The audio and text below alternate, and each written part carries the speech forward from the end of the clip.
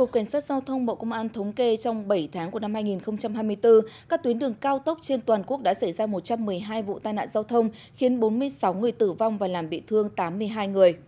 Qua phân tích, Cục Cảnh sát Giao thông xác định nguyên nhân của các vụ tai nạn giao thông trên đường cao tốc do lái xe chưa hoàn chỉnh kỹ năng, kiến thức pháp luật khi tham gia giao thông. Cụ thể do tài xế không chú ý quan sát, không giữ khoảng cách an toàn, đi không đúng phần đường làn đường. Đáng chú ý hơn 57% số vụ tai nạn giao thông trên đường cao tốc xảy ra trong khoảng thời gian từ 18 giờ ngày hôm trước cho đến 6 giờ ngày hôm sau.